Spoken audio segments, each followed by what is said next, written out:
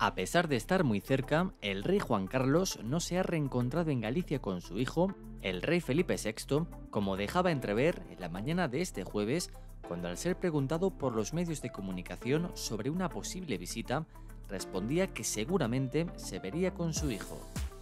El marido de la reina Sofía se ha desplazado hasta el Grove para disfrutar de una cena familiar en la que no estaba su hijo, pero sí su familia y su gran amigo Pedro Campos,